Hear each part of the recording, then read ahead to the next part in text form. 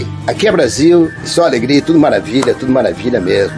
Em Santa e Bela Catarina a gente tem a ideia e a vontade de colocar câmeras ao vivo na internet, todas as ruas, todos os bairros, todos os lugares, para você aí no mundo ver que aqui em Santa Catarina a gente tem um jeito diferente de viver e que a gente não está em guerra, que a gente se cuida, que a gente se ama e que a gente quer prosperar.